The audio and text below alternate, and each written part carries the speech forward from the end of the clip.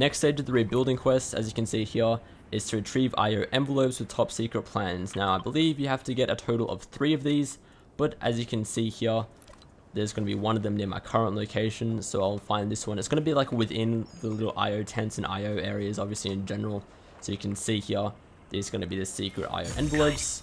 That is one out of three. I'll show you some more locations of those shortly, but you can see that on the map, that's where they're going to be.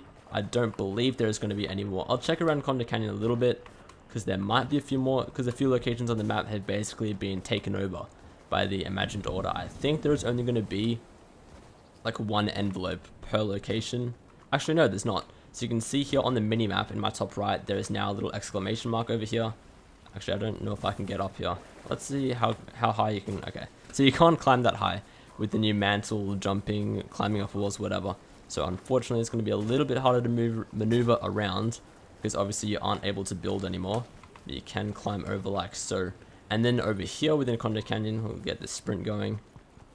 You will see there's more of these files here. I'm just going to take a screenshot of this one quickly because I need something for the thumbnail, obviously.